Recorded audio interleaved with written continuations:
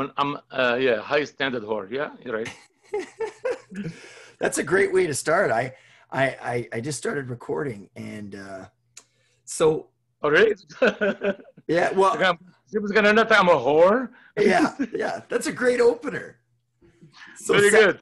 Sal, thank you for uh, for joining uh, us today. It was uh, it was a bit of a process trying to figure that out, but you did it. I'm proud of you. Yeah, thank you very much, sir. For 62 years old man, sure. My birthday was a week ago, actually. Well, happy uh, happy belated birthday. What did you What did you do for your birthday? I went to work. Hmm. I went to work. and So- I came home and I slept. I thought the uh, I thought the the sandwich shop closed down. You know what? A business is uh, is, is, is an addiction. hmm It's real addiction. You cannot just pull yourself. Like almost you have a, a sick kid in a hospital on life support. You don't want to pull it to die because you, you love it, Mm. but you want to rest too. So it's very confusing situation when you have your own business. It's very confusing. It's an addiction. So just uh, I cannot put it out of my system, but I know for a fact I mean it's gonna happen like uh, soon, like really really soon. It's gonna happen. But uh, I can do it. Re- you know, when we did the closing a month ago, people waited three and a half hours to say goodbye to me. It's like, I mean, we had, you know, have, we we had the people out of, all the way around the church to 190th. I couldn't believe it. Like, it's like they they went to like two around the block. Yeah. Actually, we had the guy came in and he played bagpipe to entertain the people. No way. I'm that serious. I have some video on Facebook. You can see it. That guy just showed up from the other side of a parking lot, and he just hell. The pipe, a bagpipe was music, beautifully walk around entertaining people. As some people come from Vancouver, like my friend uh, Jennifer O'Connell, and uh, she came to Vancouver for distancing, and it's like people. and I had to make sandwiches not easy, but one, I had almost 12 to 16 volunteer. I well, I saw the video. But Yeah. Sal, do you do you think that uh, it's okay if I call you Sal? Or do you like Mr. Kahil or? or Try it for myself. whatever you okay, want. so- okay, you got it. So Sal, do you think that people were coming for the sandwiches, or do you think they're coming to say goodbye to you? Uh, it was very emotional, very Mhm. emotional day for me. I cried a few times because uh, there's there's a plant over there called Bo- like a Chinese plant, Bosnai, whatever it's called. People brought me. I had enough cards from a people, flower, a plant, cactus, food homemade for me. It was very emotional. So, but no, we couldn't have enough bread for everybody. Like we made a thousand sandwiches in one day, five hours. It was so good. We couldn't, we couldn't really. Uh, then people signed a petition to open one more weekend. So we opened another one weekend. Then people kept say, say, oh, come on. Then I felt going two days a week, it's not gonna really kill me, right? It's not gonna kill me. So it's it's uh, it's it's, it's crazy to talk about business. It's. If you love a people, you're a blessed man, and if you hate the people, you're you're you're like God curse. So it's uh, if you if you really love people, you're attached to them. It's like totally different feeling when you see them, right? They can feel it too that you like them, and you're not pretending, right?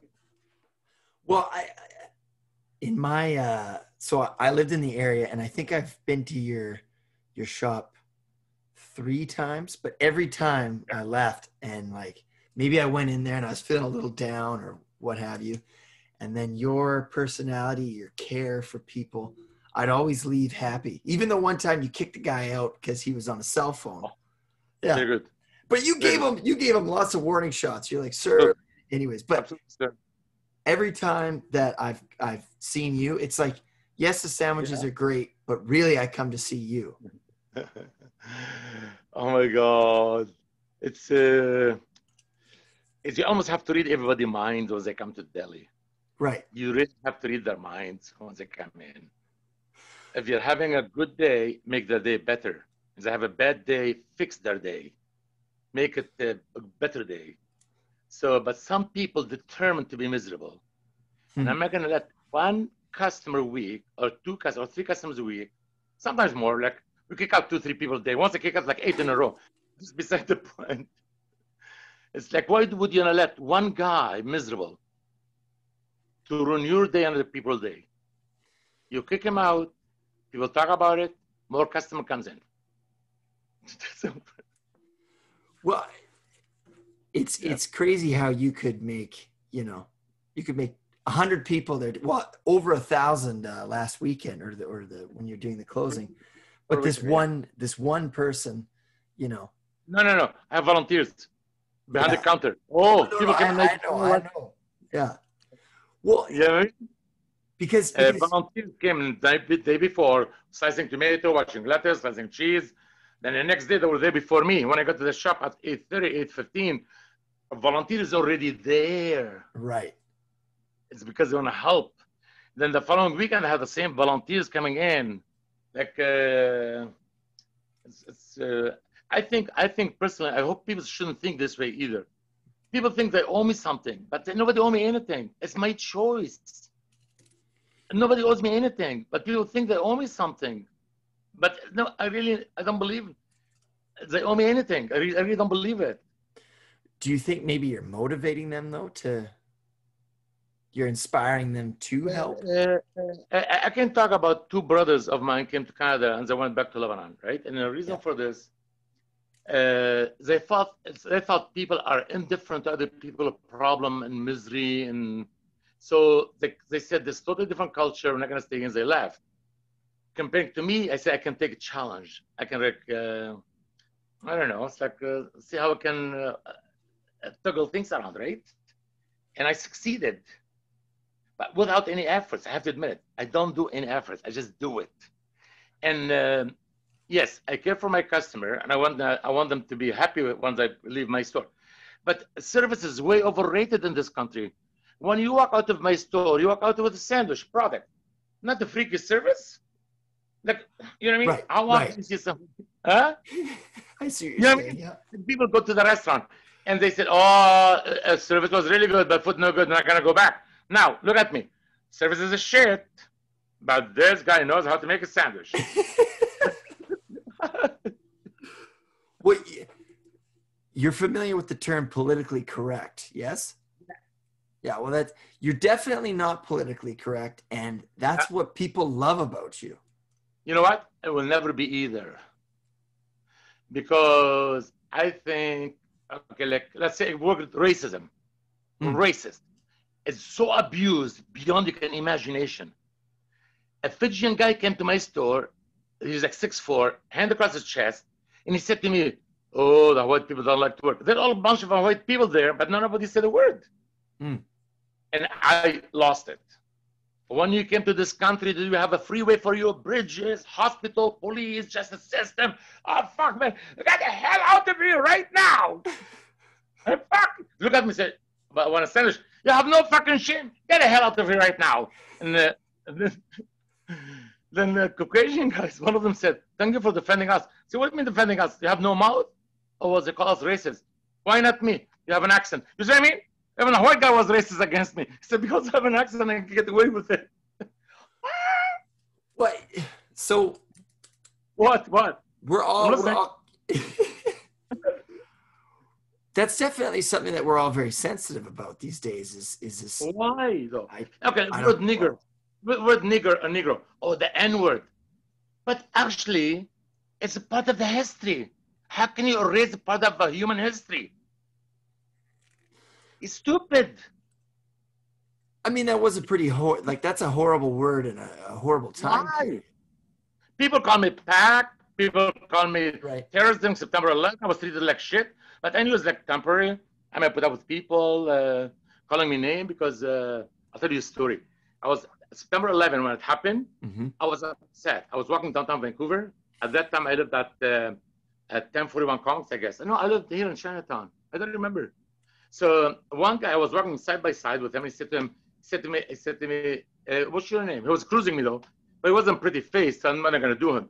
Then I said to him, "I'm Salam." He said to me, he said to me, "Oh, you're the Arab terrorist flyer plane." He was telling, telling me, mm-hmm. and I, and then I said to him, "Oh, you're right, you're right." I said, "Have you ever slept with an Arabic man?" He said, "No." You want to try it? Yeah. So we went to Hotel Vancouver, Vancouver on uh, Georgia, room 905. That's a good room. You've never been there. No, I haven't. I haven't been there. Not that room, 905. Have you? No. Because it's still a smell. Oh. So I remember it. It'd be imprinted. Yeah, you're right. But so we went to that room and he said to me, uh, uh, hey, are you gonna do me? I said, I have to be high first. I need some coke. He said to me, okay. He said, but go buy it. I don't have money. He said to me, uh, that now he's insulting me to the maximum. Why don't you give me a couple hundred dollars, go and buy it and come back? So he gave it to me, that idiot, never went back. he went home. The poor, poor guy paid for the hotel and for the coke that I never bought. And that day, September 11, you know the the Fox radio station, CFOX, yeah. Larry and Willie? Yes. Uh, I used them on their show all the time. Then they had a, a, a contest called Ever Tougher Contest. They said, then my job, uh, and soap up salon, soap me up. So a lady from Cloverdale uh, uh, has to enter the contest and she has to use a soap all over my beautiful hairy body. By the way, the secret minute for it. That was a beautiful So- nipple. so- That's a beautiful nipple. So so she's uh, she got naked. I got naked. They call me the champion, but I'm a male escort. I'm used to get naked. Doesn't take much. I'll don't get fucking Right. naked. I'm a male escort. For God's sake, I'm a whore. So they, uh, then, but she was so smooth. She shaved everywhere. Yeah. No way to melt that freaky soap on her. I'm so hairy. A soap melted in half a time. I ate half a soap, by the way. Just finish to get over with this fucking contest. The same day, September 11th. This happened all on September 11th. Oh yeah, very So- active day for me. well, I was gonna say you you you propositioned yourself as a male prostitute. You took a guy's money because you said you're gonna buy him cocaine. Yeah. Um, do you do you drink? or do- early morning. I was 6:30 in the morning. They had to pick me up from home, yeah, take me to Cloverdale, get naked with the lady. She was shaved. She was smooth. yeah. Oh, she- Well, Cloverdale, that's where I'm from. So Yeah, not leveled like my testicles, but that's okay. Yeah. You didn't hear this one, did you?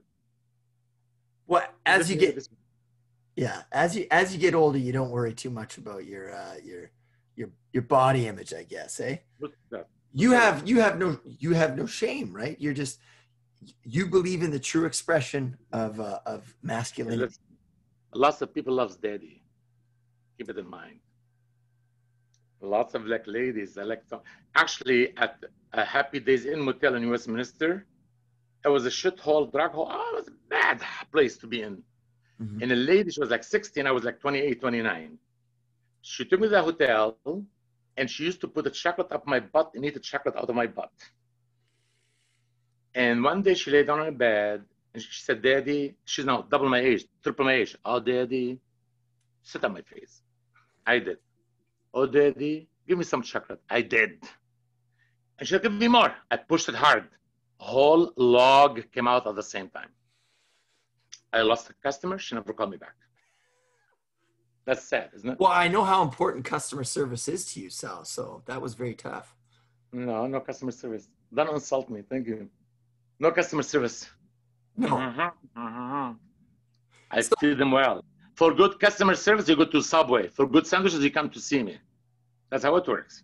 right well I, yes but i will say the sandwiches while they are delicious i i have certainly come to see you because of your personality and you're just you, you cheer people up So. Hey, listen, uh, I, uh, uh, oh my God. As I said earlier, I love the human race in general. yes I- Yeah. I love. I love people, and I don't believe uh, we should label anybody as bad person. Let's say you're good to your mama and papa and girlfriend and boyfriend and aunt and cousin, but you're bad to me. How can I label you as bad person? You can't. It's, here in North America or Western world, if you pay your bills every time on time, like every time on time, you miss one payment, you're punished. Mm. It's so sad mentality. It's so sad.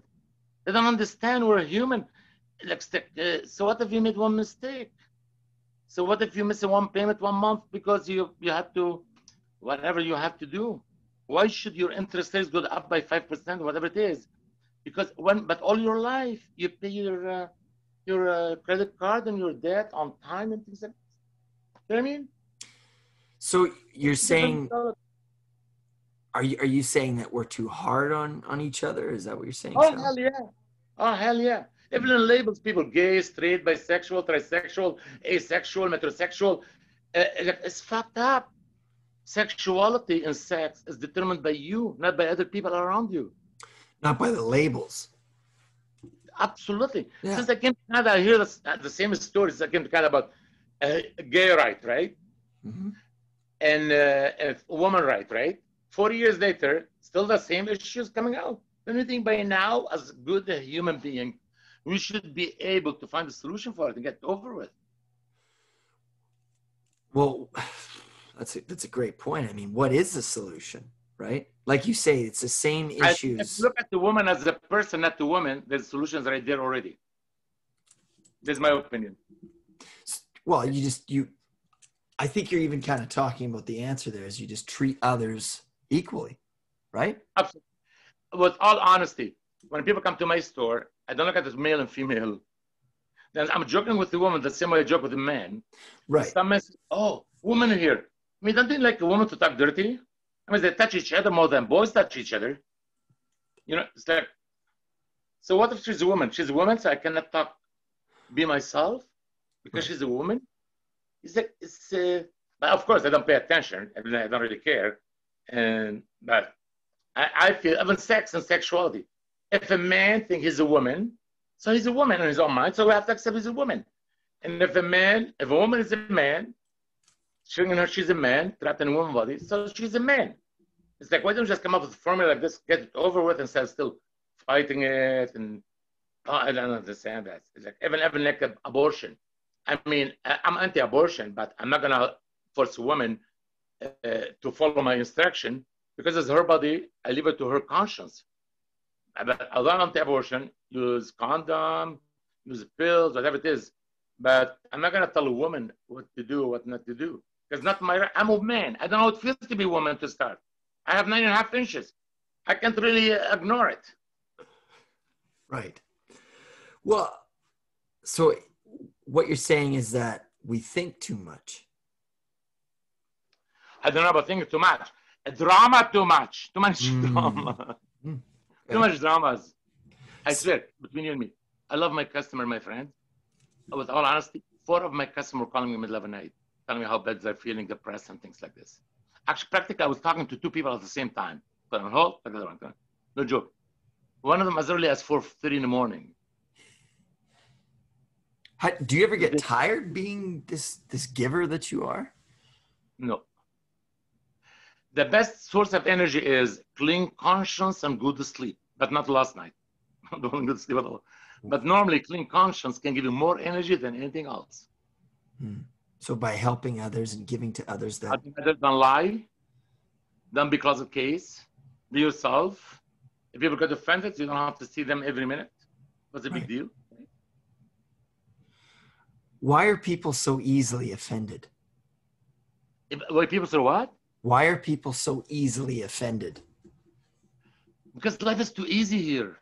Hmm. those never been put into a test. It's uh, it's like easy in life in North America, like very easy. Nobody can starve unless their beer and wheat comes before their meal. You know what I mean? Right. Their car comes before their home. Then they cannot pay rent. Then they call sell. Can I borrow hundred dollar? You never get it back, by the way, most of the time. Very Yeah. few give me back. Okay? So, but I cannot say no to them. It's just, it's your money. But I, I believe strongly. I think uh, people are too spoiled. Like they're never really. I come from a war-torn country, right? So it's like uh, I kind of uh, uh, we uh, We go through hell, bomb over your head, missile over your head. You have to walk kilometers to go to a small town where it's safer. I mean, uh, it's, it's, it is totally different. So you over there, like here, like I remember in Lebanon, we we we had to save every drop of water of any sewers. For summer, it doesn't rain for four or five months, so you need water to water the fields. Actually, they stop before. I mean, I mean, North America and Europe talk about environment, environment. It's already happening over there 50, 100 years, 50 years ago, 100 years ago. Those people were saving sewers water to, to water their uh, orchard and their lands. Wow. So you.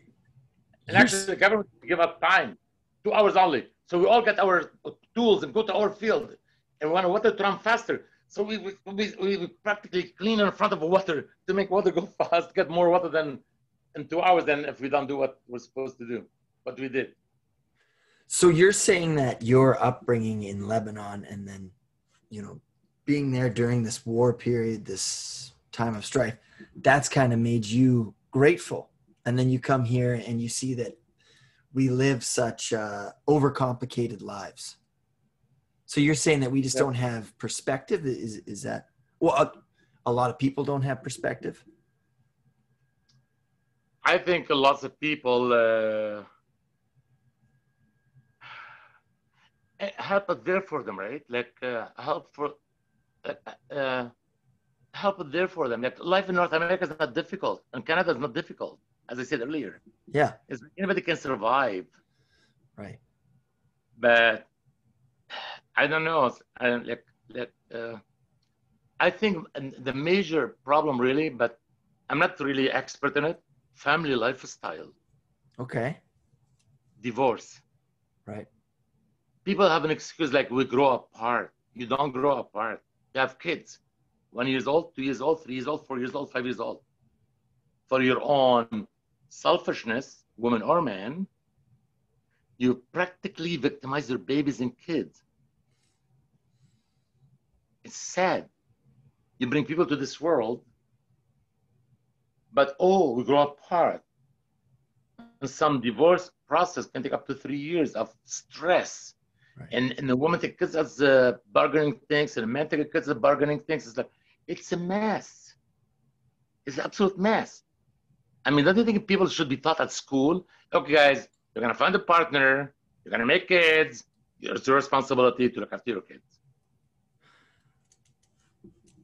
well, I think a lot of us don't know, like you say, how to manage relationships, right? That's we're not taught that in school. We're taught, you know, math and reading. We're not necessarily taught the, the social skills. At least not as much when I was a oh, oh, kid. Oh, People always teach their kids in this country, uh, don't trust anybody but yourself. Don't look after yourself first, then look after others. That is a perfect society what it is. I look after you. Look after your girlfriend. Girlfriend look after her friend. A friend look after her friend. A friend look after the neighbors. We have the perfect society. Right. When we look after each other. Yeah. But but that's what you. If your mama said to you when you were born, mm-hmm. don't trust anybody but yourself, right? Or said to you, you come first. Look after yourself first. So so you learn to be selfish from the day one you were born. You mm. learn to be fearful of people around you the day one you were born. Okay, a lady, somebody stole her purse. Headline news. In Lebanon, you have to have like 10, 15 bomb before making headline news. Right. Like, like, ladies, be careful on the street. Somebody snapped a purse from an elderly lady. So what? It's like it's like it's so simple. As a problem, so simple. So what? The old lady uh, lost her purse or old young lady lost her purse. The same um, uh, dress code, right? I mean, I believe that uh, most women like to be lovely and compete with each other.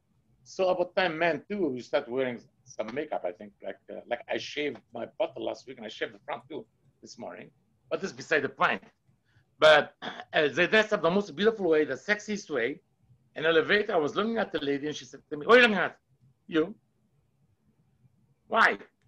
Look away. I'm not going to look nowhere else but at your breast. And once I was at the Holy Rosary Church, I do like meditation. I'm not a religious man, so I just sit down watching people praying. Right. It brings me some peace, right? Because they're doing what they're doing what they believe in, right? And the, the ladies was sitting down on her knees, in her breast, in her nipples almost coming out. Oh, got me horny right in the church. So I, I, and I look look look at her breast. Oh my God! Oh my God! Oh my God! Oh my God! I can keep it in my pants. Oh my God! But what happened? She looked at me. She, you know what she thought? I was gonna steal her purse. She moved her purse from her left side to the right. Side. Said, man, I'm looking at your breast. Who gives a fuck about your purse? I think it's a very funny story at the church. Well, we definitely do like it sounds like what you're saying to me is that we don't really see what's important and what's important is right in front of our faces Absolutely. right Absolutely. But listen, there's major, I dribble, you know, Pigeon's Park, when I first came to BC in 1985, right and you have like 20 or to 30 homeless people in Pigeons Park right there. Right. Where I live. Pigeon, block where I pigeon live. park Pigeons Park, yeah. Pigeon- Pigeon yeah, Park. yeah. One block from where I live. So at that time, we used to make like uh, 50 sandwiches. yeah And, but you never saw anybody giving food on the street. Now, picture this. This baby here, Lebanese guy, started giving food on the street. Now, everybody, because he made it to the media. So everybody wanted free publicity. That's including one sandwich chain. Uh, when they count how many homeless they give free sandwiches on the street, because they want to be in the media, right? You see it? Mm. So now we can see more and more people giving food on the street. right I, I- way more. Like, I, I noticed too, right? So I, I, I think uh, I may affect people opinion. Yeah, people actually on Facebook. If you go see all compliment I get, it's beyond. I mean, I'm glad I'm not flying like an eagle by now. I'm still my feet on the ground. You know what I mean? right it, it, it, it can go through lots of people's head. People say, how nice you are, how nice you are. I can tell people, please help me to keep my feet on the ground. I don't want to fly. well how do you stay humble how do you Huh? stay humble Easy. Yeah. Well, we all, if you, we all have a purpose in life. And if you don't have a purpose, make yourself a purpose. what's your purpose Oh, uh, I don't know. Uh, my smile, I guess, make people happy. It's like, uh, I don't know, look after poor people. I mean, uh, honestly, I give more money to poor than I give for myself. Is that stupid? I have an ugly Chevy car. I have an ugly phone that I keep it together with a rubber band. like, probably that's why it didn't connect. well I, money doesn't seem like you know money is not a measurement of, of I'm not success fearful of future. I'm not. I don't feel the future. Yeah. Que sera sera. what, what's that Que sera sera. what does that You mean remember the song? Sera sera. What will be? will- No, you never heard it. no Well, you need deserve a good spank. I, Uh, yeah That's very promising, isn't it? this is why we're doing the zoom interview sal so i don't get hit by Yeah. you Huh? Oh my God. You- For your own protection, right? exactly own yes yes It's like fuck yeah. so, uh, my purpose of life, I don't know. Hmm. Just making people happy, I guess. Uh, be happy myself. If uh, I'm not saying I'm a good person, but if I don't feed one homeless every day on my way to work, I'm not a happy man. so where are you where are you working now I work Saturday, Sunday at the deli still. I still work to this week. I still work to this week. I still do it. because because I yeah love when, it. well that's awesome yeah i mean i love it too i i have to bring my wife there still because she's like oh i've heard What's about him. What's his name? uh carl is his name Is his wonderful name, guy wonderful guy Listen, it's funny about the gay marriage, okay? Hmm. Uh, uh, one of them has a wife, one of them has a husband. I can fucking understand it. Although I'm for equality, equality and, and uh, you know, but this is my husband. Oh, uh, like, it's like a the guy asking, this is my husband. Oh, please. I mean, I'm not against it, don't get me wrong, but kind of shocking for me. It's like, oh my God. It's like, now uh, I have a Danish couple. He used to come to my deli. The husband is so feminine and the wife is so masculine. Yes. Figure, go figure. That can happen. Yeah, yeah. It's like, it's like I'm talking about two guys. Oh, So I see what you're saying. Yes, yeah, yeah. They have these gendered roles, but they're two. The, the best gay couple that has like two guys, the feminine, feminine one who does crochet hmm is the husband. And the other one is, I shouldn't be laughing. I have to admit Otherwise, people think I disrespect them. No, I don't. Uh, uh, a bit confusing for me. A bit too confusing for me. Why do you think like like like it, it? It just seems that we're so wrapped up in, you know, gender and and sexuality, like you're talking. Why? about. Because I see it every day in my store almost, right? Yeah. And it gets me a bit confused. Have you ever I heard of think it's just, huh? Have you ever heard of toxic masculinity? Uh, what's toxic masculinity? Don't explain to me, please. That's very new for me. So toxic masculinity is this idea of, you know, you're you're I'm a man and and men don't cry and we like to drink beer and it's, oh yeah, it's this that's idea of Yeah, some of my customer uh, called, what do you call it? Muscular Toxic toxic. toxic masculinity. Yeah. Oh, yes, they gave me a blow job. They gave me a blow job actually. They did. Some of my customers. And that's not a joke. At the deli, behind back room, they did. Yeah. So they, they said they're very masculine. And I'm straight, man. Oh yeah, suck my dick then. It. So Many times. they came back for more. do, does your family do, are they still in Vancouver? Do they still The only one in Canada. My family ran away. Back to Lebanon. They just because they couldn't handle it here or what do you think? No, uh, uh, two brothers only came to Canada and they went back. hmm They went back because they thought, as I said to you, uh, okay, my brother Karim, he's not religious, but he think every white man is gay. He was bad. He was bad. He was bad. My brother Azim, he was like, he's not fanatic Muslim, but he was some kind of uh, religious man, right? Right. So my brother uh, uh, Azim, he couldn't handle seeing all the lady on the street, all their bra and you know mini skirt and things like this. So he went back to Lebanon too. Huh. I'm the only one stayed here You're the only one. because I loved you guys. Actually, reason for most of you accepted me the way I am. My mom and dad, uh, bit above average, right?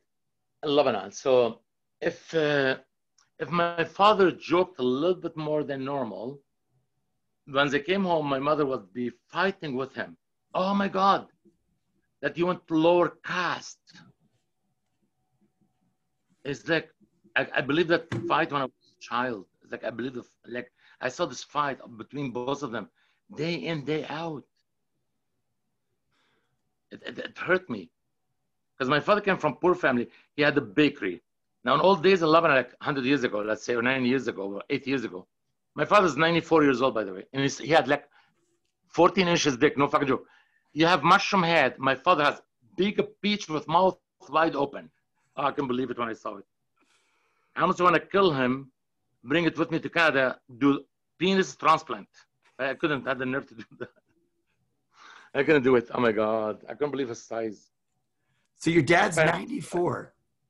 Yeah? He's still alive, your dad? He's 94. Holy smokes. And he smoked like cigarette like a chimney. But he doesn't smoke Canadian cigarette. He smokes. He goes to the farm and cut the leaf, shred it himself, no chemical, nothing. So he's still 94 years old, smoke like a chimney, non-stop, non-stop, non-stop. Isn't that shocking? That's uh yeah, you can't get away with that here. That's died two years ago. My mother died two years ago. Oh, I'm sorry to hear. And um, she, had, she had Alzheimer for 16 years. 16. Average Alzheimer in Canada is eight years. You know why? They send to rest home because they feed them chicken broth and one piece of carrot. Right. For God's sake, let's face it, okay? If somebody's fucking dying a month from now, feed them T-bone steak. What do you want to care about their health? Fucking dead. That break my heart. Yeah. You go to any rest home, and you see the elderly people actually tend their hand. They want to see like, uh, they want to touch you and talk to you. Mm. That's heartbreaking. It is heartbreaking. Maximum for people Alzheimer in Canada, they live like eight years, 10 years, maximum. My mother, she died at the age of 92. She has a breast, a huge breast, because she breastfed 10 kids, right? So she had a huge breast. My God, my father was a lucky man too. So this is beside the point.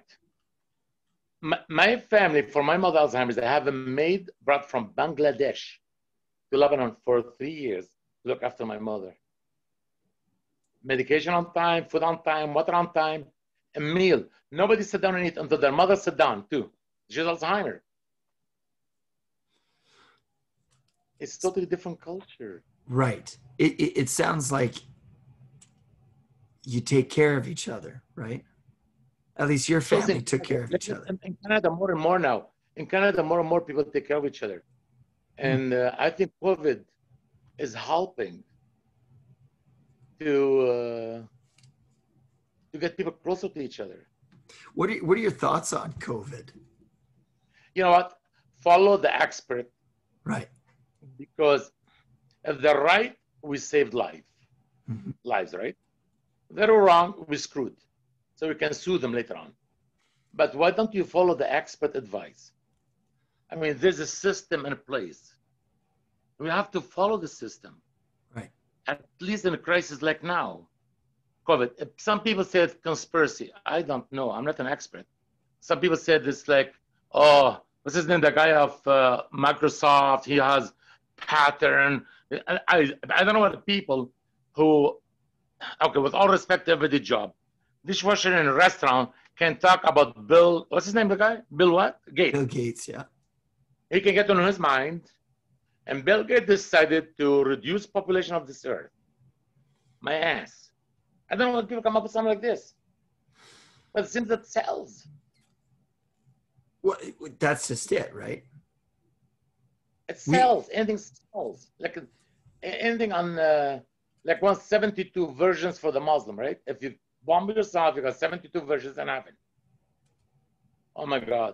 I mean, I never heard of it, and I'm a Muslim. And I once sent to a Quranic school to study Quran when I was a child. Mm. During Ramadan, I had to read the book three, four, five times in one month. Almost six hours of reading the book. Right. I mean, then has- hadith means what the Prophet Muhammad said. Sunnah means the rules. I was taught all this from age of two until age like eight. Because my parents knew no hope for me. Were you were, you a very re- rebellious young person? You just didn't follow the rules. Okay, I was sexually abused by my oldest brother since the day when I was born, as long as I remember. And my oldest brother. And my mother knew it, but she seems like she encouraged it uh, because he was a very intimidating man. And my father didn't protect me. So around age of 14, I ran away. I didn't see them until almost turned 30, 31 or something like this. Like oh, 27 years later, I went to see them for first time. Then they kicked me out. My mother was talking about dispute between two brothers. I don't take sides. I don't take sides. You can tell me something. Carol, tell me something, your wife. It's, uh, I can listen to both of you, but I'm not going to judge either one of you. And I'm not going to take sides one because we all, when we tell some stories, we tend to, or something happened to us, exaggerate to gain the support of other parties, right? Like it seems like we're, we're, we're, seeking their approval of what we did, right? There's another, uh, I think, as major issue, way of thinking, right? Hey, what was my point anyway? I lost it. Well, you're talking about how you moved away from home when you're So, 14. so my father protected my father. Then they to punish me for sexually abused by my oldest brother. They sent me to live with my, my aunt, and I was brought up by my aunt. Hmm. But in my own mind, I knew it. I'm gonna run away. It's gonna happen. And somehow at age of 14, 15, gone. My, then I was living in Beirut and the civil war started. My father came to the to pick me up, and I turned my gun on him. I said, I'm not gonna go home to the same hell ever again. Mm. I never lived at home. I lived with my aunt all my life. And uh, what's the difference gonna make to me if I live with my aunt or live here? So this is dark side of my life. I have to admit. I never had a childhood. Never had a childhood, right? Because when you're sexually abused. You are live in constant shame and fear. Shame of doing something not socially acceptable, and the fear of people's gonna know about it. Right. You know what I mean? So that, that was dark side of my life. But I'll tell you this: when I ran away, oh my God, I bet you I felt almost like my feet didn't touch the ground. That's how good I felt. Because you got out of this this home where you didn't feel safe, obviously. Yeah. So how did you how did you come to to Canada? Like Oh, oh, long story. I lived in, I went, left Lebanon, then I, I left Tripoli, Lebanon. I went to Beirut, Lebanon. War started between Laila, between a Catholic and Muslim, and I was uh, living in a. uh, First of all, I was living in a Catholic town called Hadath Shwaifat. Hadath Shwaifat was all Catholic. And one day they were looking for me to kill me because I was the only Muslim in town. Believe it or not, the Jehovah's Witness saved me. They come up to my place. They're looking for you. Then the Jehovah's Witness, in the middle of the night, gave me a right to Green Line, and he said to me, "You go this direction. Now, if somebody yell at you, kuf means stop in Arabic. You stop. Don't run, otherwise they're gonna shoot you. Hmm. You fall in I say, okay. He said, I'm gonna sit in my car until you cross almost 100, 200 meters from you, just to make sure that you're safe. I said, okay. stay." I went to Lilac. He was a Shiite Muslim, but they weren't as bad as a Catholic to me, so I was okay. Then uh, I was living in that town, and a I went to University uh, Faculty Lebanese, means University of Lebanon or whatever it is, to study uh, uh, uh, génie en chimie, chemical engineering. right. Oh. So then war was so severe between east and west one night, like so severe that uh, that all building was shaking. And I have a cute roommate. He jumped into my bed. He said to me, "Oh, can I sleep next to you?" And I fucked him that night. I had sex with him. That's the point. So then, um, then next day, bombing was so severe. We walked across the mountain in Lebanon, things like this, until we ended to Syrian border. Then we took, we were like five people took a taxi from Damascus, Syria to Hamas, Syria to to to border. Then Syria didn't want to keep us. They want to let us go open a border so we can go back to Lebanon. Oh, it was a mess. So we landed in Cyprus. Then from Cyprus, Saudi Arabia, Jeddah, Dammam, Riyadh, all the cities. Then uh, then I went to I, uh, I went to Cyprus. I bought a passport for five dollars. Now in old days, the passport was not like now, high tech. The passport was uh, like you there's your picture under plastic. You lift it somehow, like steam it a little bit. You put your picture, you get a passport. Hmm. Beautiful. I got my passport. So I went to first stop was Copenhagen, Copenhagen, after Saudi Arabia and things. Yeah. And I went to Denmark, and um, at the airport, I speak French. Je parle français perfectly, perfect French. So I was going at the Copenhagen airport. There was uh, two guys say anything to declare, nothing to declare. So I took nothing to declare. What the hell? Danish customer asked me. I don't have remember. I didn't speak Danish. So I, uh, I said them in French, swearing at them. Fouille-moi le compte means fuck off. Va te faire fourrer, fuck yourself. In French, je suis français. I'm French. Je viens de Paris. I come from Paris. And I to the taxi, take me to downtown uh, Copenhagen. That's how I made it to Europe. Then I went. Uh, once you're in Denmark, you can go Finland. You can go to Norway, Sweden, and Finland. And uh, I did. And after this, I went to Germany.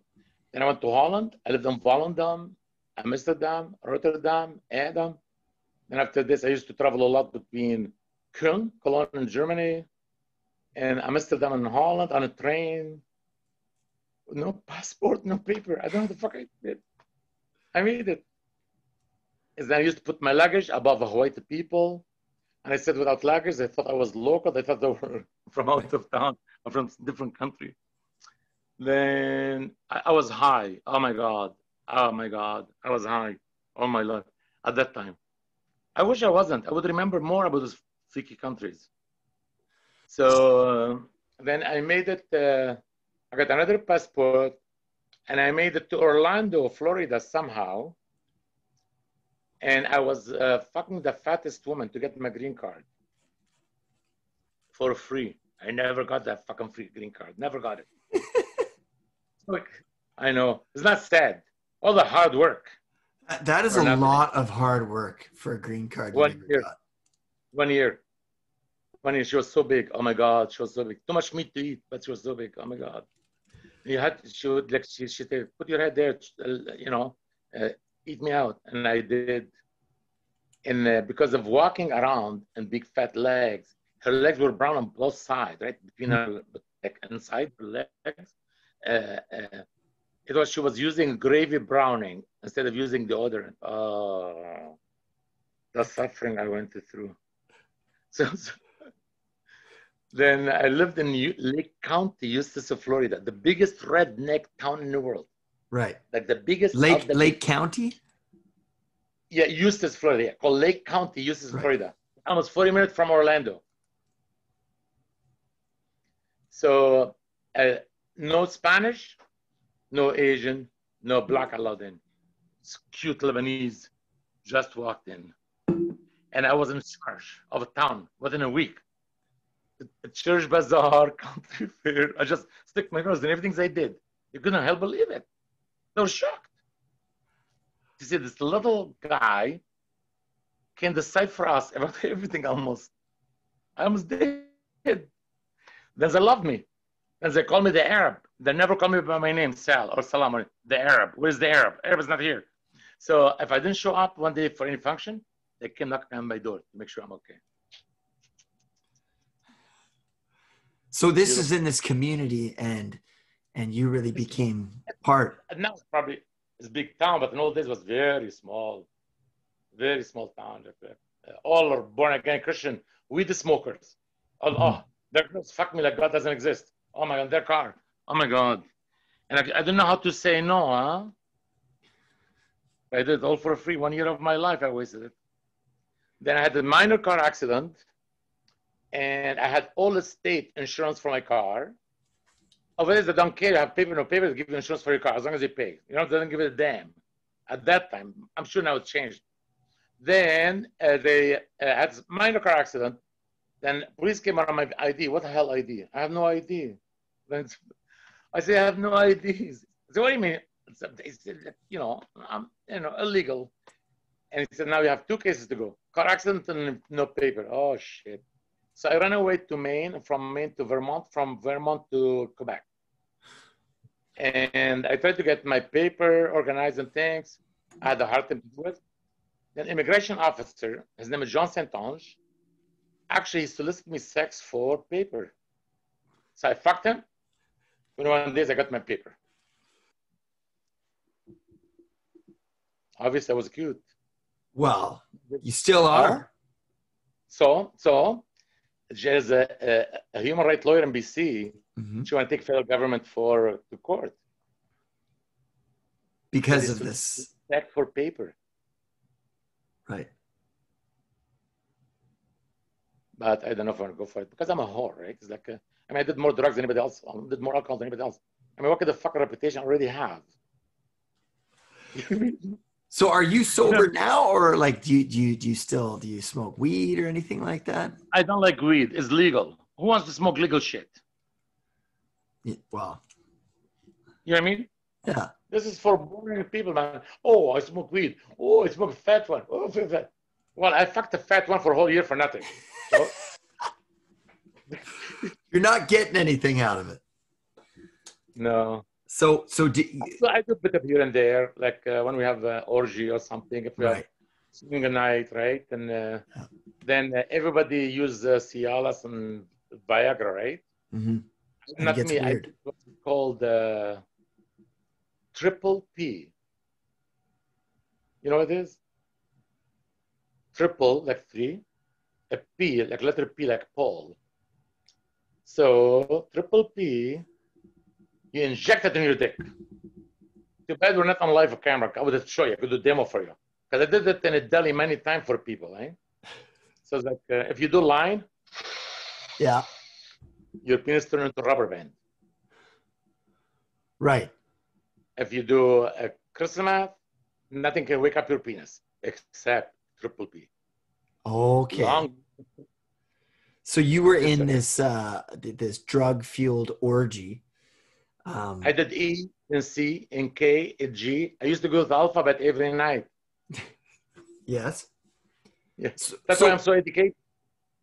but then how did you finally become sober? What was sort of this this moment in your life when you're like, I you know, sounds like this is not sustainable. Did you say sober? Yeah. I guess uh, you're a bit wrong here a little bit.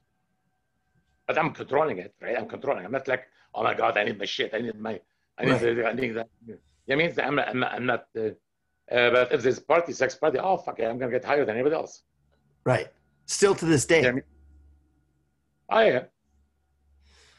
Well, what what's your uh, what's your drug of choice? Well, lots of them still. So you you actually do drink then? No, I don't like alcohol.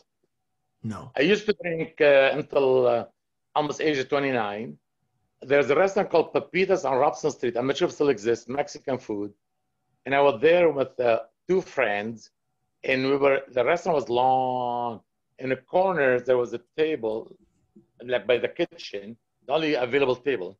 So I had like two pictures of margaritas, and I got like, uh, fuck, three, four beer. I already had at home vodka tonic.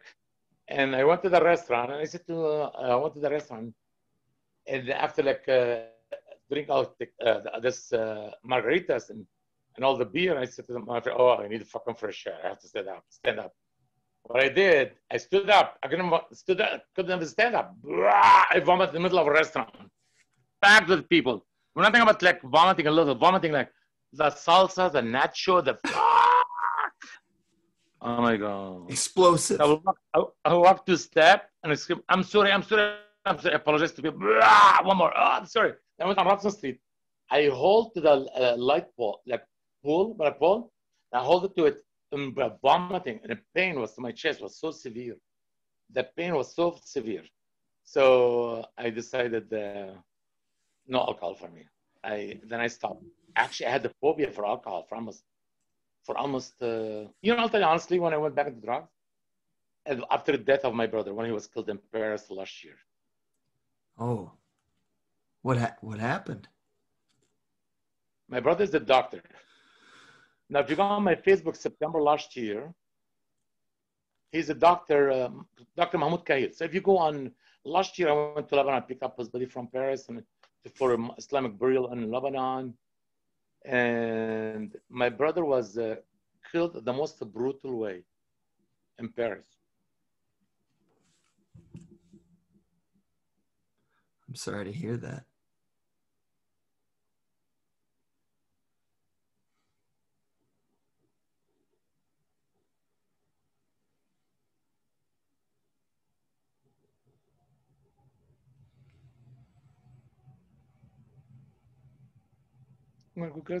Water.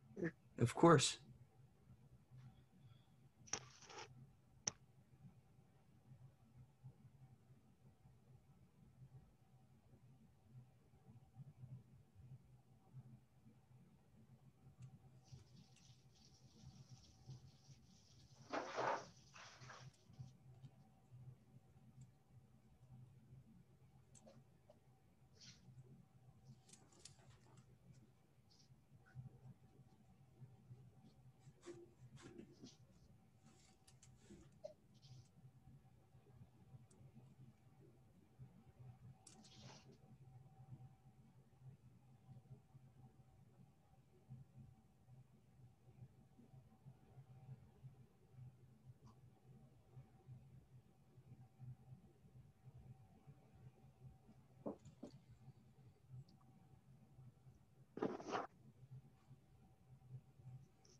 And the French government doesn't give us any information about the killer.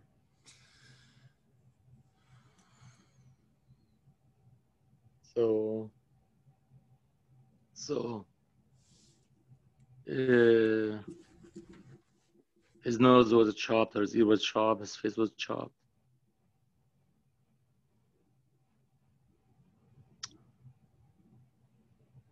My father still said to me, Come back here before the white people kill you like they killed your brother. Is that what happened?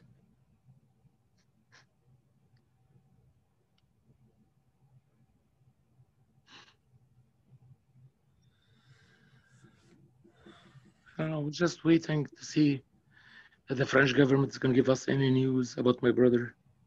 This ha- this happened a year ago. Yes, if you go on my Facebook page, you can see it.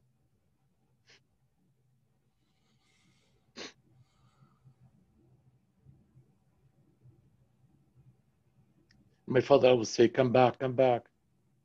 Say, "Why do you want to come back to Lebanon?" He said, "Because the white people are gonna kill you kill your brother. Come back, live with us." I tried to explain to him. I mean, Canada is different. I mean, I have good relationship with lots of people.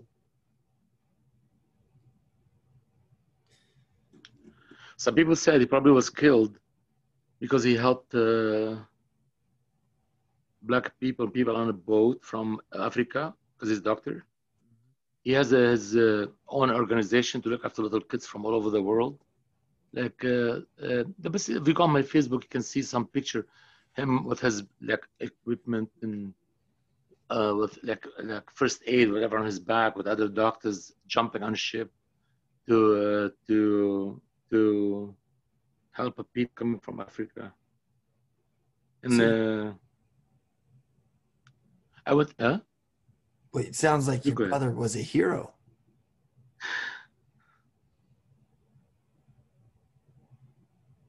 Much like He you. goes to, goes to Africa to Benin Republic, Republic de Benin, Mhm. Every year for one month, the poorest of the poorest. He saved thousands of black lives, right? One fucking nigger in the US got killed, entire world to jump. My brother who saved a thousand lives of this Negro, nobody even count, didn't even count. He has his own organization to look after little kids, les petits oursons, like little bears. They got petits oursons means little bears. Actually, this video on September last year, you can see my brother brought a family from Morocco. They speak French, and and he knowingly that their kid won't survive. He said, if I can extend his life by two more days and let the parents enjoy having a kid for two more days, it's my duty to do it. He brought them to to, to Paris, and then uh, at the end of the video, he said.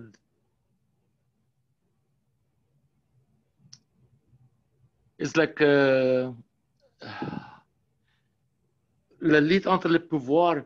It's like it's, it's, it's like a war between a power and, uh, and, and, people less power.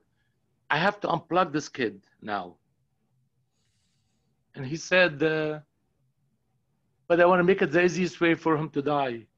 Even though baby's dying, my brother wants to make it easiest for him to die. I mean, this man gave all his life for poor people.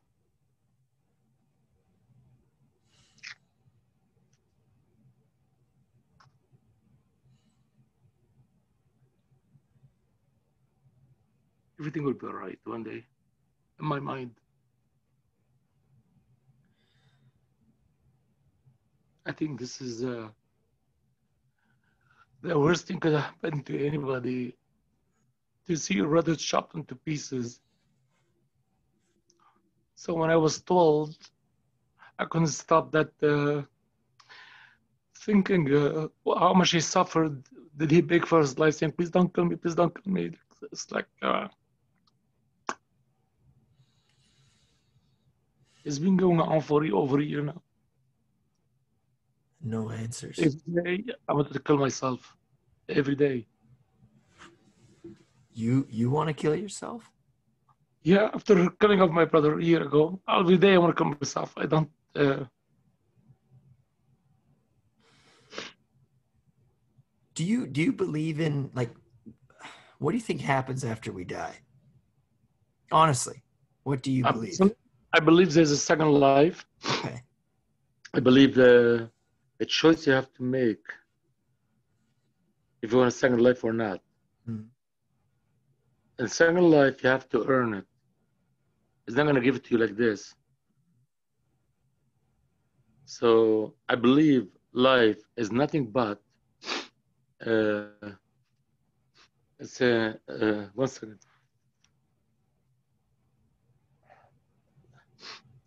Life is nothing but uh, purification for better life later on. Okay. So I believe that's I believe that strongly. If that's true, then I mean,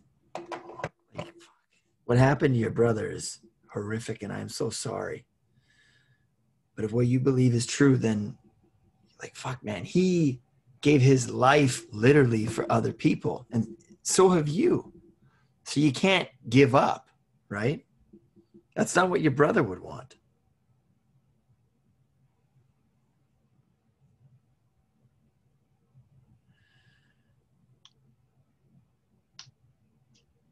It's hard to deal with it.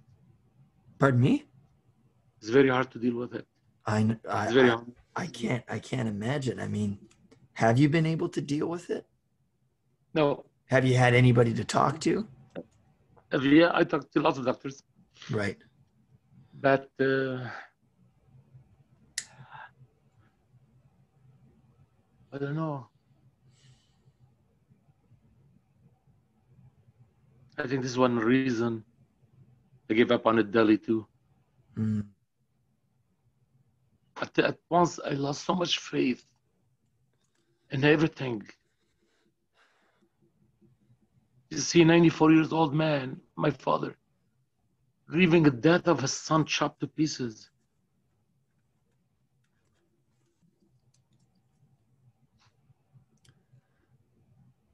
I mean, what what these people did to your brother is like, it's horrible. It's hate, you know. It sounds like it's hate. The- Why- the why else? politi- I think it's political because he's Lebanese, Arab Muslim, helping foreigners. I I, I don't know. I it just I don't know either, but there's rumors. And the French government doesn't release any information. Police don't release any information. We had a lawyer, cost like 4,800 euro, $7,000. Then he called me during uh, during uh, that uh, the black guy who got killed in the U.S. on the same week. He called, oh, he wants more money. I said, what do you have for me? Oh, we cannot talk about it. But French accent, I'm gonna talk about it. It's the investigation is still going on. I said, you got 4,800 euro. hmm. And now you want to ask me for more? He's like, it's like, are you, I said, je lui ai dit- I said to him in French, va te faire fourrer. Go stuff your ass. So, fuck yourself in good English. Uh, then uh, I was scared that my father's going to get mad at me. And I talked to him on the phone. I said to my father, hey, father, uh, uh, but nicely I was saying to my father, he's 90 something years old man. So I said, I want to break news to him that I fired a lawyer. So I was like, uh, but I, what if I did something wrong? My father didn't want to fire a lawyer. So I was like, well, how are you going to deal with it? So I said to my father, it's like, what do you think if uh, if one member of his family killed him, if his friend killed him? Uh, uh, and my father said to me, Sal, put it this way. It's not going to bring him back to life Mm. if we know who's the killer. So what's the waste of time and energy on it? He said, don't. He said, I said to him, I fired him. Good for you. My father's 94. He's on his cellular phone all the time, Googling. And oh, all his, he sits down like this. He's skinny. When you go on Facebook, if you have a chance, you get some picture of him. Oh my God. He's like two thirds of my height. Skinny, skinny, skinny. Yeah. And then you get somebody like me, monster, next time. him. He's below my shoulder. The poor man. When was the last. Huh? when was the last time that you were with your your family? That day, I went to brought my brother to for, for burial.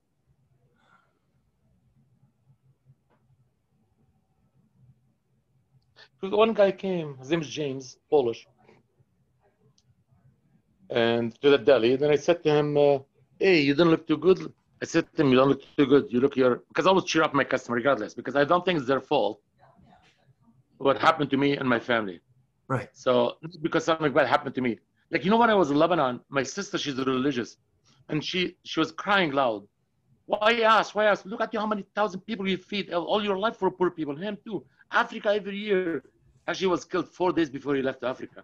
Every year, one month goes to Africa helping poor people. So my sister said, Why why ask? And I got angry at my sister. I said, Who said someone else deserves it more than we do? Will you be happy if it happened to your neighbors? Right. My, my sister, she hugged me and she she apologized. Well, we're just trying to make you're trying to make sense of this horrible thing that happened, right? That's where anger comes from. You're just trying to make sense of something, I think. I mean, I don't know.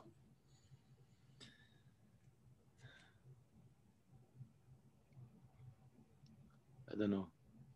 I, I, I still think life is fair. Well, there's a lot of there's a lot of bullshit that happens. Because, because you got your color, race, sex, sexuality, all born the same way, all gonna die. Mm. And none of us knows anything about the future. Regardless what religion you are, regardless how handsome you are, what color you are, life is fair. All come the same way. We're gonna die. Nobody knows anything about the future. This is my talking about life. I I think that you know we're united in death. Like that's definitely something that we all get. That's equal for us all. But the way that you know we've created countries and governments and things like that, it has made it unfair for a lot of people. Yeah, yeah. So, and that's something that you've fought against, right? You know, you've you take care of homeless people in Pigeon Park, you feed them, and you've never asked for any, you know, uh, trophies for what you've done. and I don't want it either. Yeah, no, exactly. Neither did your brother. He did Uh, it because you guys have done this because it's what you believe in, right? Yeah. Yeah. And that's a hell of a legacy. A good human being, he can feel the pain of others. Otherwise, Yes. we're animals. Yeah. A human race is supposed to look after each other. A 100%. human race can um, build houses and bridges, freeways, hospitals, but let's talk about animals that live fucking in a cave and they live in a fucking cave. doesn't make a human race a human race. Yeah. We- care for each other. Although it's not the same way like 100 years ago, where churches look after, I was government look after, like uh, hospitals. I mean, they look after me the best way you can imagine. I have to admit it. I mean, I have all service I want. They take care of me. Uh, I make them laugh a lot when I go there. And uh, last Wednesday, I was at. Paul Hospital, and uh, we do exercise. But they put me on camera. They're gonna put on YouTube soon, I guess, to teach people with cardiac problem how to exercise. Yeah, because I'm uh, energetic, right? I'm an energetic man. I'm You don't fast. say. Yeah. Huh? I said you don't say. Yeah. I, I, I like a challenge. So when I go there, some, there's two more people came with us. Oh, they're so fucking lazy, complaining. Uh, like one of them, like 50 years old, I guess, for example. She was acting like 10 years old girl. I said, what? I didn't say anything because I'm very polite, right? But all the attention went toward me because I didn't go, I went to treadmill. I didn't go to the bicycle. And go, I increased it. Hike on one side, like a maximum 15 minutes. I couldn't walk for two days after that, right? It was like a show off for me. Then the other machine said, Do you want to do bicycle? You want to do the other one, you know, rolling? Like this? I said, I'll do rolling one. I did it for, for like 50 minutes non-stop. Then you have to do warm up and things like this. But it's going to be on YouTube soon uh, for uh, what? Because they're doing a program about uh, cardiac healthy heart, healthy heart, cardiac. Well, fuck this. I don't know what this. I volunteer. Like I go there. Did, didn't you ha- didn't you have cancer or something like that a few years ago? had a car accident. Wh- What's I that? really, I had a major car accident. I was rear-ended by a semi on the freeway. Oh man. 95 kilometer an hour, 140,000 pound load hit me. Holy. Then When I did- had uh, uh, hmm? When did this Then I- happen? uh, 2000, uh, July the 4th, 2011. Oh, 4th So of July. July. Listen to this carefully. Listen carefully to this. Uh, so I was hit by truck, and they took me to the hospital. They test me. Oh, everything's okay, Mr. Kahil. You can go home. So next day I went to see my doctor. I collapsed on her floor in the office. So oh, you have to go to emergency now. Then they sent me to UBC hospital because no waiting time. Mhm. I went to UBC hospital, and uh, as I did CT scan things, and they released me. They said all bruises. So, uh, day six, uh, 14, I went back to the hospital, UBC. Dr. Edmund treated me like shit, and two nurses, British and East Indian. But the East Indian, she was ugly. She was like 400 pounds, like one in Florida. Probably she never washed her hair. I swear to God, like ugly monster. Oh my God, how can a man to fucking touch her? I can't. Yeah. God forgive me for this. Uh, God forgive me for this. Oh, her vagina, must be, her vagina must be like a split liver. No joke. Oh, I don't know how people eat it. Say the point. I'm trying really hard not to envision that right now. No, yeah, you're right. Otherwise, you're gonna turn gay. Uh, but you're cute. You can make money while being gay. Don't worry about it. I've, I've Uh, been told that before. Right? So make money. I made lots of money. I swear. I got fifty-five thousand dollar loan, loan- uh, loan from a school principal after I fucked him for two nights. I got from uh, H, uh, HS, Bank manager. I fucked from one night, twenty-one thousand dollars. Bob Bruno, realtor in Seattle. I fucked him one night. He paid my rent for a year and a half. So don't check. what were we talking about? We're talking about different subject. We're, we're talking about how you were in the hospital, and then you you started telling me about these Day wonderful 14. nurses. Day 14, I went, Dr. Edmonds refused to serve help me, said, You've been here, everything's okay, it's just the bruises. I said, All the blood under my skin. So uh, then they had that English British lady and East Indian. Both of them had terrorist operation, against guess, in their homeland, right? And they got the Muslim guy in their hand. Mm. Revenge. Right? So, so uh, they put that thing to measure my blood pressure. Actually, they wouldn't look at them, come to my room. Then, and then they, they said, Okay, you go home. Then I lift it. I had to lift it myself. So I was talking to Dr. Edmonds, said, Please help me, man. Like, I think I'm going to die. And Dr. Edmonds said, No, nothing wrong with you. Go home. Day 16, nobody lived more than 14 days after car accident with type A aorta dissection. My aorta was burst. Whoa, your heart. My, my aorta. That, Oh, so, so day 16, I don't remember how I went to work. I did go to work. And all of a sudden, I was serving my friend, Craig T. Uh, he does the Surrey Eats Facebook page. You have to talk to him. He tells the story. He was there. He was begging me to go to the hospital. No, man, I don't want to go to the hospital. Then I jumped on the counter. Now I'm gone hallucinating, right? Apparently, paramedic came in to pick up a sandwich. People said to him, whatever happened to Mr. Kayi? We think we have a heart, uh, cardiac arrest, whatever it is. Were- I mean, from two hours at the deli, they didn't know that I was aorta dissection. Aorta dissection. You know how dangerous it is? Nobody lived more than 14 days when it's damaged. 16 days.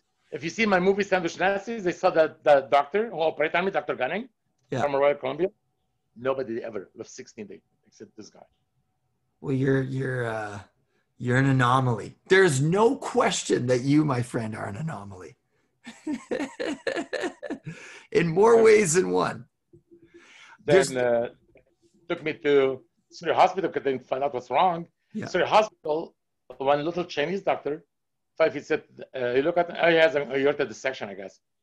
CT scan, straight back ambulance, police escorted, Royal Columbian Hospital, straight to operation room, doctors waiting, nurses waiting, 12 and a half hour operation.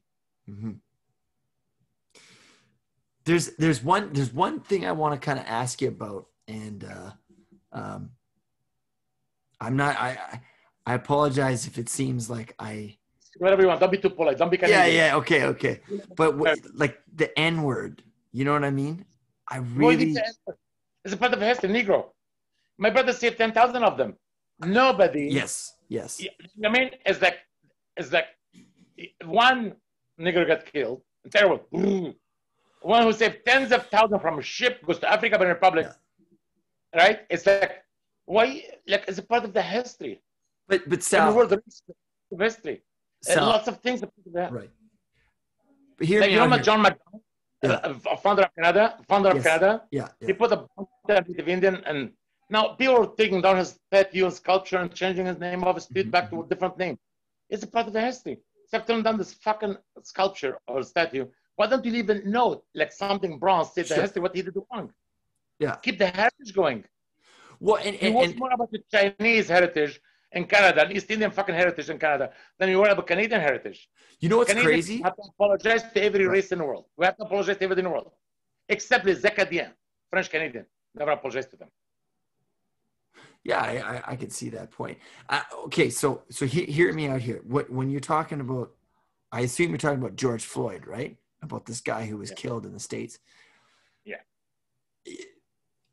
There's there's a lot. There's a history behind this.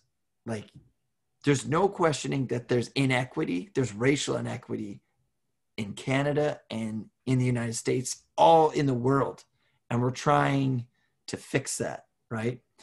So, I mean, he was killed by police, right? Like, that's fucked up, man. Just like your brother's fucked up. But when we're like, these things are wrong. And we got to make it right. Because kindness and, and love, that's what we got to do. That's the key to racism. And racism is real, man. No, it's not. No? No, it's not. In my deli, no East Indian ever came back to pay sandwich. I give them one credit. No Filipino ever came back to pay it. White people come and pay it, all of them, and give me some extra. Right? You know I mean? Now, culture involved. Yes. Trudeau said, when he got elected, said, we have to uh, embrace the other cultures. Why? If it's better than mine, yes, I will. But should shittier than mine, I'm not going to do it. So they come to my store. Now, uh, we had a sign at the door said in old days, you had to remove it. Because it said, if you're hungry, you don't have money, it's on a house. Filipino and East Indian, they all want free sandwiches. We have to remove the sign, we have to use our judgment. Is it racist? No. The fact of life. East Indian, don't come the sandwiches. With a turban, man of God goes to the temple, my ass. If you're a good temple, pray to God, pay you me that fucking sandwich, then go to God and pray for God. Because if this is true. This is a fact from my story. We don't give a credit to East Indian and Filipino. Am I racist? No. I'm protecting myself. They're not to come pay me. They will never pay me. DHL employees weren't allowed in our deli for five years because one Filipino, his name is Jesse, worked at the airport. He still worked there. And I gave him a credit for two sandwiches because he was so ugly. When he laughed, his mouth was bigger than his face. I've never saw someone as ugly in my life. So he's ugly and crook on top of it. Why would any woman fuck him? It's like, see what I mean? So he came to deli, bought three sandwiches. Then he got a call from a supervisor for two more sandwiches. And he, he said, Oh, it's my territory here. I come pay this afternoon. That day never came. I know his name is Jesse. Now, uh, any employee came from uh, from DHL, oh, you put the sign at the door. You're not allowed in. And you get my money from just, I never got it. I even got emails from the company in Frankfurt. I still don't get my money. And they say the same thing. Once they come to my store, they don't pay. So am I racist? Oh, oh, but I'm waiting for the answer. I, am I racist to say this race? Am I going to give them credit because they're not going to come and pay me back? yeah, I mean, I, I think that there's a there's a problem when we look at a group as a whole, right? Like all white people do X. Do you know what I mean? All, when- white, all of white people come pay me sandwich, give me extra too. I swear. Uh, you know what? I'll tell you this. A couple days ago, I went to my store, and there was a, a business card from a guy with uh, twenty dollars for two sandwiches he bought. He said three months ago. Threw it Hmm. from the hole. He said I came a few times. You're not there. So the whole above my door, there's windows open. There's the T bars. He threw it there, and, and he, he he sent me an email telling me It's on a shelf. It fell on a shelf store. When you go to mall, please grab it. Right. I, I mean it. It's like then uh, and, and uh, but it's culture. If I, if I want to, if I want any culture, I swear has to be way better than mine. I'm telling you right now.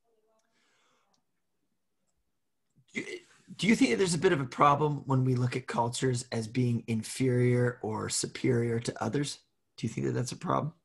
Well, well people bring it on themselves. Like, uh, right. I'm black, and I'm gonna. I'm black if it's gonna discriminate against me. If it's gonna discriminate against you, matter of attitude. East Indian, they all have small penises. Smallest penis in the world is not Chinese, it's East Indian. I've seen enough of it. So that's not a joke either. Well, one of my clients, he was like six four. I fucked him in the in the back for fifty dollars. His penis wasn't bigger than probably I swear. Amen. How how is food safe never shut you down for some of this stuff? It's in the back area, man. That's all, that's... well, so, listen. Uh, uh, uh, okay, I'm Lebanese, Arab, Muslim. Mm-hmm. How come I don't have a problem? I mean, there's some sometimes something happen. People make stupid comments. But if I have, I serve 600 people a week, one bad white man, I'm gonna leave all of white people are bad. I'm not gonna let it happen. But if you have 99.9% of white people pay their sandwiches, and 99% of Indians don't pay their sandwiches, we have a problem. Has nothing to do with white people and racism has to do with, with okay, has to do with culture. Some culture, if you like to save your face, you make you smart. Comparing to our culture, you have to be ethical. Right. Now, now you look at the restaurant, to interrupt you, McDonald's now is still being bought by East Indian. You don't see white people or Chinese working in a Filipino or East Indian.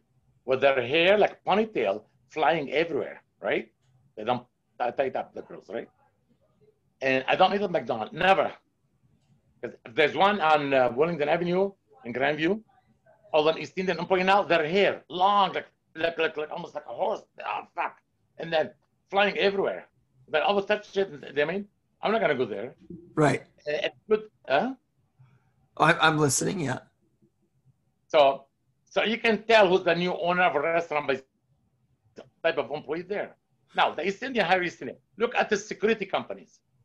How many white work for them? Every security company is around, they're all brown kids. Is there any white kids need a job to pay their school in September? No, obviously.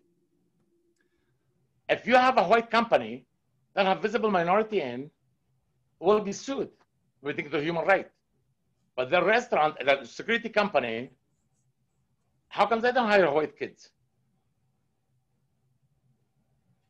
So are you saying that because these companies are owned by, say, East, East Indians, right? No, only hire East Indians. Is is that what you're? Political party, political party in general, political party. It's yeah. a suck up for a visible minority and immigrant. It's a suck up. Now, if they have majority of Indian in a certain part of the town, the the, uh, the MP runner has to be instead minority, right? Why? Like you have to look at that East Indian say, oh, I'll vote East Indian because they're going to look after the community. How about the rest of us, you idiot? So would you say that it's pretty unbalanced then? Is, is, is that what you're saying? It's, it's, it's the worst democracy in the world is in Canada. Why, why is that? Why is that? Simple. You elect the man, you have a lobbyist run the government. Right. Now, if real democracy, if people run the economy. Yeah if you have some lobbyist come to the government and say, oh, you should do this, and you should do that. Right. But not, government doesn't represent you. They represent lobbyists that hired by big company. As long as you're registered lobbyist, it's not a bribery anymore. Isn't that stupid? So, so because of these lobbyists, these, uh, for for example, Doug McCallum, remember the Uber thing? Yeah. And he took Uber to court. Well, many people say, yeah, that's just lobbyism right there because the taxi cab companies didn't want yeah. that because they would lose a bunch of money.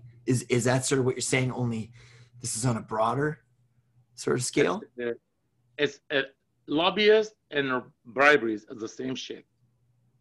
Whoa! This is being paid by that company to go convince the minister of something to get his ideas. Like, okay, give me something. A cheese uh, quota from Europe or all over the world. Yeah. When they did the free trade with Europe, they gave almost 60 or 70% of a quota to big multinational companies. But small people like me, they made it so difficult.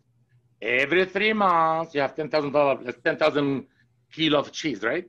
Mhm. uh, like fifty thousand dollar cheese.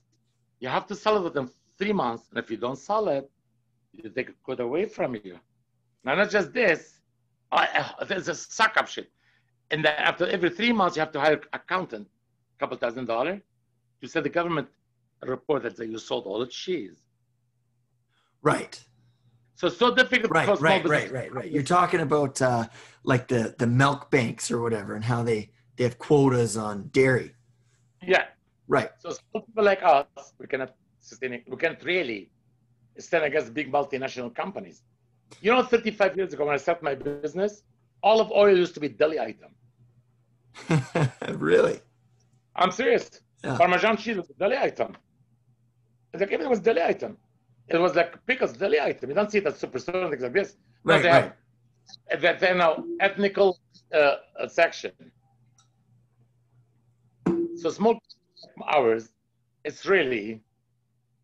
Uh, I don't know how I survived that long, but I survived in the business for that long. 35 years. What? Why do you think that you survived this long? Because I think I have the answer.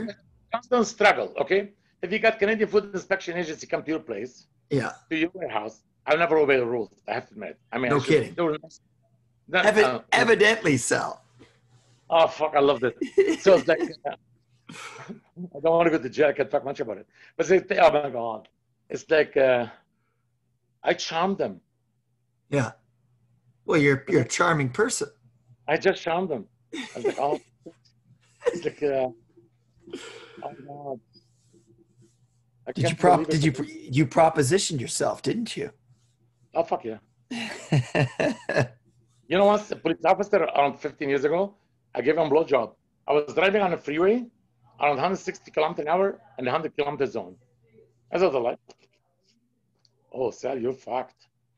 But the police officer came by my window. He didn't put his head down the window. He still had that up, and his zipper was halfway down. So I give him, I was like this on his balls. He didn't move. Then he took me to uh, Kingston exit. Then we went around, turned right, and we went the lake. And I gave him, I gave him a blowjob and then saved five hundred dollars. So better than nothing. Right? well, you got to get out of it some way, right? When I did, Well, I, I think that the reason that you've been so successful uh, is because you're just a likable person, and you truly are yourself. You know what I mean? There is, if you look up the word authentic in the dictionary, you'd be an example. I try. I try to be, I try to be fair and good in life. Well, I really do my very best. I really do my very best. I'll That tell you, man. You you. There was one day I was at the shop and I was feeling, you know, kind of down or whatever. I was like 21, and I left there thinking, like, man, you're a good guy. So, and still to this day, you have that. I hear this every day. I hear this every day. Well, get used to it, man. You know, ten years later, you're still the same That good human. I came in. He let a bottle of wine. He had a bottle of wine on counter in a paper bag, and I finished his sandwich. And I gave him a sandwich. I said, "Buddy, eight dollar forty. He said, "This is eight dollar forty cent. It is twenty dollar for a last sandwich you gave me." I really don't remember. I give lots of free sandwiches. I really don't remember. He said, "There's a bottle of wine for you." By the way, he said, "I was I was having the worst day ever. I thought everything's against me. Nothing. Nobody stay good in the world." And here you go. You finish sandwich, you said, This is Anna Hauser. And uh, I resist you, but you said, This is my store and I decide, not you. So it's like, for me, it's like, Oh my God. You know, on Facebook, uh, uh, for uh, I was shutting down my store, a, a lady came in and she said, Here, you're shutting down. I want to come and have a sandwich because you fed me for so many years on East Hastings. I have a home, I have kids, I have car. You can see, you go see it. Yeah, I took a picture with her. Heart touching. You see, why? now there is uh, between. Uh, I'm not going to name it. In one little of this family, I've been feeding forever. They don't have no money, and I never met them. People told me. Huh. So um, those guys, I, they don't have money now to pay gas, so I had to send volunteer to deliver to them Right, right. one right? And one day he said to me, he sent me a, on Messenger, Facebook, "S- Sal, thank you very much for putting food on our table. Then he had a bowl. My sons were torn apart into small pieces to feed their babies. Hmm. Yes, I cried. I said, Shit. Look at you. You came with nothing. You just give and give, and you don't care. It's like you put food on those people's table, even for their little kid, to tear apart the small pieces, the sandwiches, salami and bread and things, to feed their babies.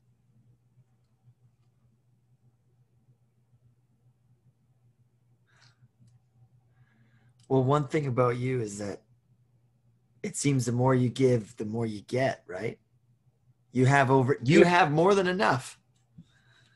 I'm, I'm, I'm, I would say I'm not a rich man. I'm not actually below average, but you know what?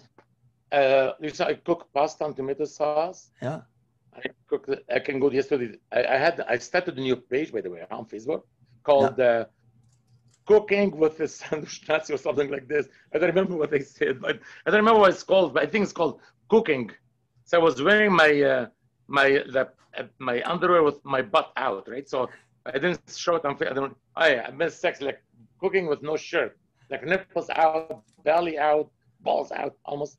So it's a cooking with the sandwich Nazi, I think is the name and I already have like 400, 220 something people liked already in overnight. So um, You have a following, my friend. Last question for you, Sal. Um, yes, sir. How did you get this name, the Sandwich Nazi? Oh, many years ago, hmm I really believe I was called Sandwich Nazi before uh, uh, Seinfeld.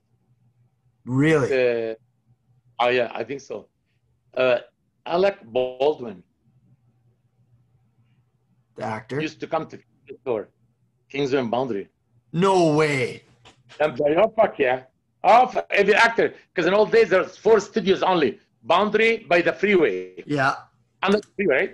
That's it. There's no more studios. There wasn't like now. Yes. So Alec Baldwin, I don't know. Uh, my employer was going like this. Ah, ah, ah, You see what's going on? Ah! They said that. Like, what is it? I said, well, Alec Baldwin? Yeah. Who the fuck is he? He was telling me. He started laughing. He was start laughing. He said, You're like a Nazi. You have no service, you have good food. But he came every I remember this. Then uh, Janet Angoro, Kiss FM, you weren't born. Remember? Jan- How old are you? 31? Oh, you're on board. Jonathan Angoro on Kiss FM. Today I was on a show. After this, we had uh, uh, uh, on CFOX every day, almost. Then after this, I went to Bro Jake. And after this, I went. Then that company who owned all this radio station, I don't know what the name of it, some kind of uh, entertainment thing. And that guy, the, the owner, the owner, big boss, I think he's a black guy. So, oh, Mr. K, let's do something together. I may go back on the radio shit. You never know. Well, I love your personality, man. Thank you, brother. You're a good human. And uh, thank you for your time, Sal. I love you. So- you. I love you too. Full time. Full time, all time. Uh, So so the, the shop is still open. So Saturdays and, and Sundays. Saturday and Sunday. Okay, well, I'm I'm bringing my family in, so Yeah. Bring your husband with you. I will. He can't wait to meet you.